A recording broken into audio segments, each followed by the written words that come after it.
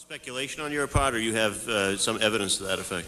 Uh, you know, I was uh, I was asked the same question in, uh, in 1986. I had uh, uh, written uh, a book in which I had said that the way to deal with terrorist regimes, well, with terror, was to deal with the terrorist regimes, and the way to deal with the terrorist regimes, among other things, was to uh, apply military force against them. To The way we them. did in uh, Afghanistan. The way, for example, I, I want to answer your question. I guess. I'm running out of time, so I quickly was trying to get there. We've done, I think, what you proposed in Afghanistan, yet I haven't seen that sort of neighborhood effect.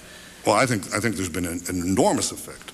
Uh, the effect was we were told that there would be uh, a contrary effect. First of all, people said that there would be tens of thousands of people streaming into Afghanistan, zealots who would be outraged by America's action, and this would produce a counter reaction in the Arab world. But I think what you're now happened? saying that when you take an action like we did in Afghanistan, we're going to see all the other countries just fold. No, what we saw is something else. First of all, we saw everybody streaming out of Afghanistan. The second thing we saw is all the Arab countries and many Muslim countries trying to side with America, trying to make, to be okay with America.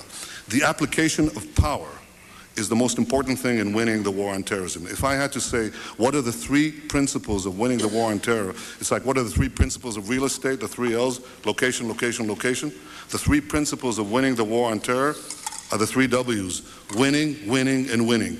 The more victories you amass, the easier the next victory becomes. The first victory in Afghanistan makes the second victory in Iraq that much easier. The second victory in Iraq will make the third victory that much easier too, but it may change the nature of achieving that victory. May. It may be possible to have implosions taking place. I don't guarantee it, Mr. Tierney, but I think it makes it more likely, uh, and therefore I think the choice of Iraq is a good choice. It's the right choice.